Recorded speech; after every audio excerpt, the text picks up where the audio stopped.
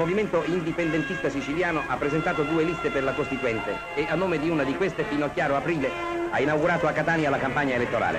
Il leader viene portato in trionfo al Teatro San Giorgi. La decorazione del palcoscenico raffigura l'emblema della Trinacria.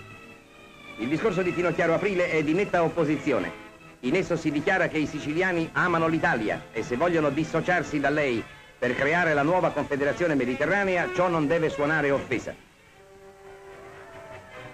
In una intervista concessa ad un nostro inviato, Finocchiaro Aprile ha accennato al programma con cui gli indipendentisti parteciperanno alla Costituente.